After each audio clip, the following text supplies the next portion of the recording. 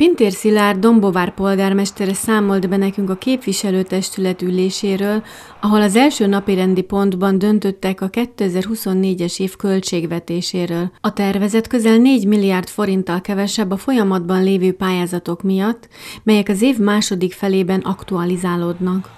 Toppos pályázatok, amelyek most kerülnek beadásra, még nem tervezhetőek. Nagyon remélem, hogy ezt az akadályt is túl fogjuk lépni, és évvégén beszámoltok arról, hogy szintén elértük és meghaladtuk a 8 milliárd forintot. Azt mondom, hogy ez a 4,5 milliárd forint, amit most döntöttünk, az is nagy felelősséggel jár.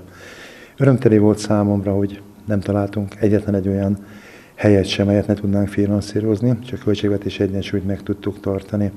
Több mint 20 éve vagyok polgármester, és az első olyan pillanat volt az életemben, amikor a köznevelés tekintetében egy pozitív nulla jött ki, és az általunk fenntartott intézmények nem igényelnek önkormányzati hozzájárulást. Nyilván ez megnyitott annak a lehetőségét, hogy a köznevelés és oktatás területén az előző években megkezdett fejlesztéseket tovább tudjuk folytatni. Dombovár Sport Egyesületei idén több anyagi támogatásra számíthatnak. Örömteli volt mindannyiunk számára az is, hogy 2019-ben 20 millió forint volt a sportkeret Dombováron, ezt emeltük 40-50 millióra, és az idén meg tudtuk 60 millióra emelni ezt a keretet.